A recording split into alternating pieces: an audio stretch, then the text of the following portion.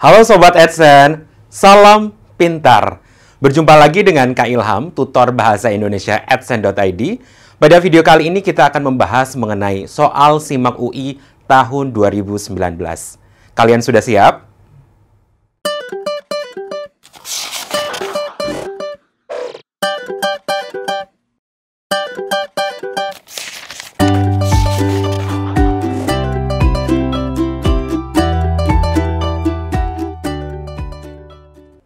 Ya, kita langsung ke soal yang pertama ya. Oke, soal pertama ini pertanyaannya, manakah ringkasan yang paling tepat dari bacaan di atas? Nanti kita melihat teksnya. Ingat, ringkasan. Ringkasan itu apa? Ringkasan adalah informasi penting yang ada di dalam teks. Nah, kalau misalkan kita lihat teksnya, jadi kita lihat dulu teksnya. Teksnya bentuknya hanya satu paragraf atau dua paragraf atau mungkin lebih dari dua paragraf. Kalau misalkan lebih dari uh, mungkin antara dua, tiga, empat gitu ya, kita harus cari dulu masing-masing informasi penting di dalam di dalam paragraf itu. Nah, informasi penting di dalam paragraf itu apa? Informasi penting dalam paragraf itu adalah gagasan pokoknya, intinya ya. Nah, kita harus lihat inti-intinya dari masing-masing paragraf. Kemudian digabungkan jadi satu. Nah, itulah menjadi ringkasan. Kita langsung ke teksnya ya. Ya, kita baca dulu. Kita baca dulu. Pelan-pelan tidak apa-apa ya. Oke, perjalanan ke Mars akan lebih berbahaya dari sebelumnya. Penelitian terbaru menyebutkan bahwa ada peningkatan risiko kanker dua kali lebih tinggi bagi astronot yang melakukan perjalanan ke planet merah tersebut. Ya, jadi intinya adalah eh, apa namanya ada penelitian bahwa yang menunjukkan eh, resiko terkena kankernya itu dua kali lebih tinggi. Kemudian yang ke kalimat ketiganya, risiko kanker yang tinggi ini disebabkan adanya radiasi kosmik. Nah, kalimat keempat, memakai baju astronot yang lebih tebal tidak akan menyelesaikan masalah. Nah, paragraf satu ini ngomongin tentang apa sih? Ngomongin tentang bahwa kalau misalkan uh, melakukan perjalanan ke Mars itu akan mengakibatkan uh, resiko terkena penyakit kankernya itu dua kali lebih tinggi. Meskipun sudah memakai baju astronot. Ya. Oke, kemudian ke paragraf yang kedua. Di paragraf yang kedua, mereka menemukan bahwa model risiko yang sebelumnya dijadikan pedoman belumlah lengkap. Apalagi model itu selama ini dijadikan pedoman oleh NASA dan grup lainnya. Ya, model lama tersebut menyatakan bahwa sel stem kanker yang terradiasi hanya berdasarkan kerusakan sel langsung dan mutasi. Nah, sementara itu, pada model baru, turut dihitung kemungkinan kerusakan berat pada sel yang akan meningkatkan resiko kanker untuk sel bystander. Ya. Kemudian yang berikutnya kalimat sel, uh, setelah, setelahnya, dengan demikian ada efek turunan yang sulit dihindar. Ya, dihindari sebenarnya ini kalimatnya ya. Uh, kalau misalkan kita lihat dari paragraf kedua, paragraf kedua ini menjelaskan tentang uh, apa namanya lebih detail lagi tentang uh, kenapa itu bisa menimbulkan resiko kanker gitu kan. Karena di di dalam kalimat 5 itu mereka menemukan bahwa model resiko yang sebelumnya dijadikan belum leng lengkap. Kemudian model uh, model lama tersebut menyatakan bahwa sel stem kanker yang terradiasi hanya berdasarkan kerusakan sel langsung dan mutasi. Sementara itu pada model baru turut dihitung kemungkinan kerusakan berat pada sel yang akan meningkatkan resiko kanker untuk sel by standar. Jadi di di paragraf kedua itu mengungkapkan bahwa oh apa namanya di sel uh, di apa namanya uh, model baru atau penemuan yang terbaru itu menjelaskan bahwa ada kemungkinan kerusakan berat pada sel yang akan meningkatkan resiko kanker itu. Nah, dari situ dari dua paragraf ini informasi penting itu kemudian kita jadikan dan digabungkan menjadi satu menjadi ringkasan. Oke, kita lihat ke ringkasannya. Oke, kalau yang A, kalau yang A itu astronot yang melakukan perjalanan ke Mars berisiko terkena kanker dua kali lebih tinggi karena adanya radiasi kosmik. Nah ini salah kenapa? Karena ini hanya ada di dalam paragraf 1. Paragraf 2-nya, inti dari paragraf 2-nya itu nggak dimasukkan. Berarti kita uh, langsung eliminasi saja ya untuk yang A. Itu bukan uh, ringkasannya. Kemudian yang B. resiko kanker yang akan dialami oleh astronot yang melakukan perjalanan ke Mars menjadi lebih tinggi akibat adanya efek turunan yang sulit dihindari. Nah, apa namanya? Uh, ini bisa tetapi kayaknya kurang lengkap ya, kurang lengkap. Lebih tinggi oke, okay. lebih tinggi oke. Okay. Terus akibat adanya efek turunan yang sulit dihindari itu kayaknya kurang kurang kurang lengkap di situ ya. Oke, kemudian yang C, perbedaan utama perhitungan resiko kanker pada model lama dan model baru dalam perjalanan ke Mars terletak pada kemungkinan kerusakan berat pada sel. Nah, ini hanya dijelaskan di dalam paragraf ke kedua. Paragraf satunya nggak disinggung. Berarti juga bukan sebagai uh, ring ringkasannya. Kemudian yang D, penelitian telah menemukan bahwa perjalanan ke Mars berisiko tinggi bagi para astronot dengan adanya kemungkinan terkena serangan kanker. Ya, tapi ini yang D juga nggak menjelaskan yang inti dari paragraf ke kedua. Ya, kemudian yang E kita lihat, apakah uh, jawabannya lebih lengkap daripada yang B atau tidak? Yang E, Perjalanan ke Mars meningkatkan risiko astronot terkena kanker dua kali lebih tinggi, oke, okay, karena adanya koreksi perhitungan resiko kanker pada perjalanan ke Mars pada model lama. Ada koreksi perhitungan model resikonya. Benar tidak? Benar, karena di dalam paragraf kedua itu dijelaskan tentang penemuan yang baru atau model terbaru yang menjelaskan bahwa ada eh, apa namanya resiko kankernya itu lebih tinggi ternyata. Nah, antara B dan E itu ternyata lebih lengkap yang yang E, lebih jelas yang E. Maka jawabannya untuk soal yang ini adalah yang yang E. Ya, baik kita ke soal ke berikutnya. Soal berikutnya ya. Oke, gagasan pokok kalimat 8. Nah, ini yang ditanyakan adalah gagasan pokok atau gagasan utama. Kalau ngomongin gagasan utama kalimat, berarti yang kita cari apa? Yang kita cari adalah inti kalimatnya. Inti kalimat itu terdiri dari subjek, predikat, dan objek. Kalau misalkan kalim, uh, kalimatnya bentuknya adalah kalimat transitif. Tapi kalau kalimatnya bukan transitif, cukup subjek dan predikat saja. Oke. Kita tulis dulu kalimatnya ya. Sementara itu, sementara itu pada model baru, pada model baru turut dihitung, turut dihitung kemungkinan ya, turut dihitung kemungkinan uh, kerusakan berat ya, kerusakan berat kerusakan berat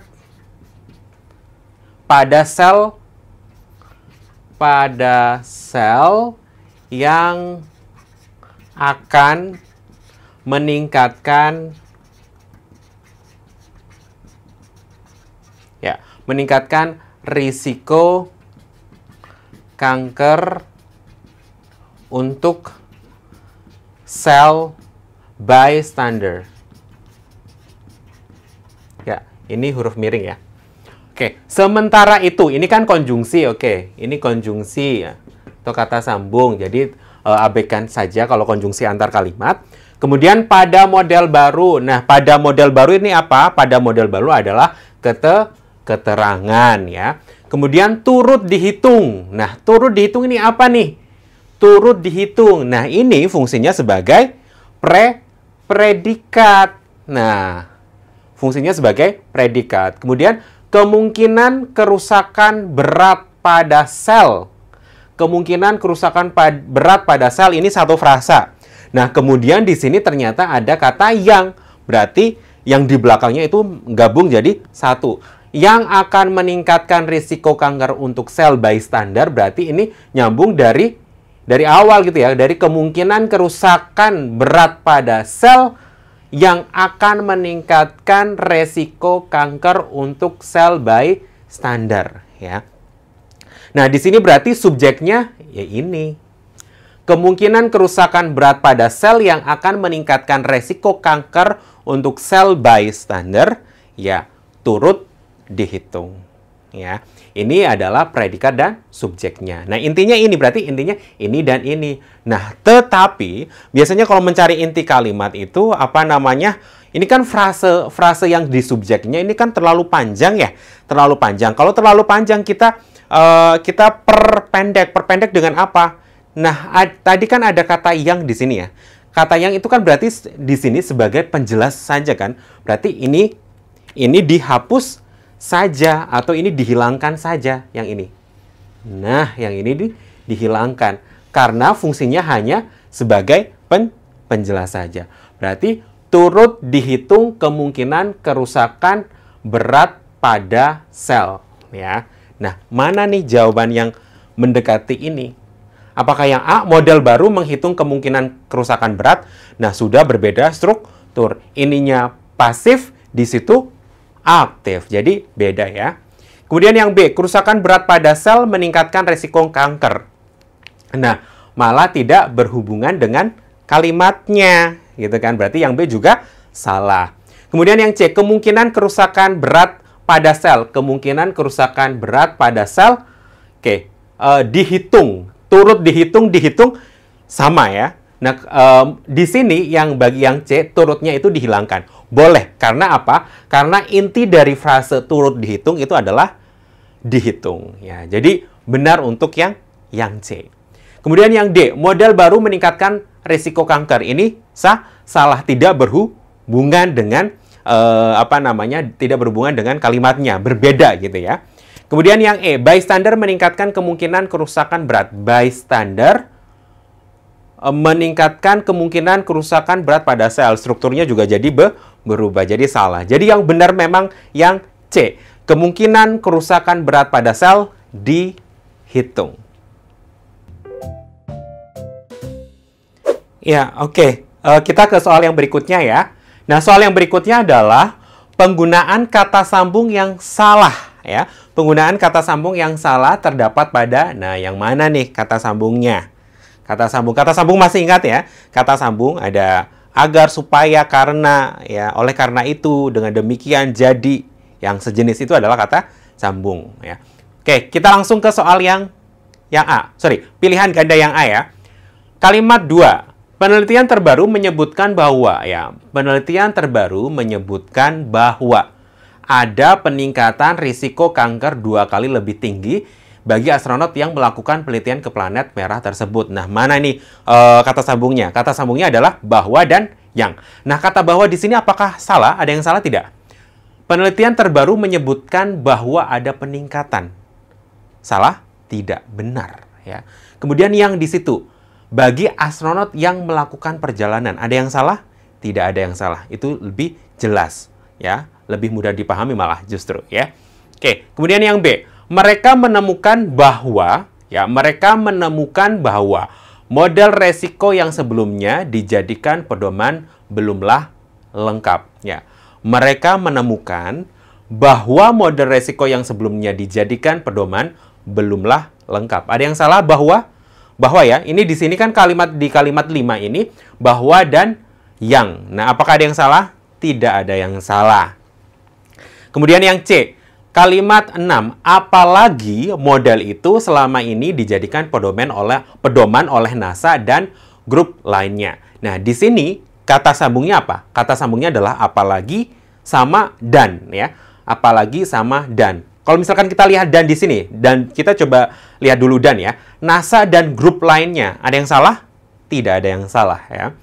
Nah, apalagi? Nah, apalagi ini kan berarti konjungsinya konjungsi antar kalimat berarti harus merujuk ke kalimat sebelumnya. Nah, kebetulan di kalimat yang B itu kalimat 5. Berarti kita bisa uh, apa namanya? Uh, kita lihat di kalimat 5 dan 6 ini gitu kan. Kalimat 5 bilangnya mereka menemukan bahwa model resiko yang sebelumnya dijadikan pedoman belumlah lengkap. Apalagi model itu selama ini dijadikan pedoman oleh NASA dan grup lainnya. Kira-kira ada yang ganjal nggak kalimatnya atau maknanya? Mereka menemukan bahwa re model resiko yang sebelumnya dijadikan belumlah lengkap. Apalagi model ini uh, dijadikan pedoman oleh NASA dan grup lainnya. Apalagi itu kan mele uh, istilahnya melebihkan ya, apa namanya menegaskan uh, di kalimat sebelumnya. Kalau di sini sepertinya bukan seperti itu maknanya, tetapi di sini malah mungkin malah lebih mempertentangkan. Jadi mereka menemukan bahwa model resiko yang sebelumnya dijadikan pedoman belumlah lengkap. Ya.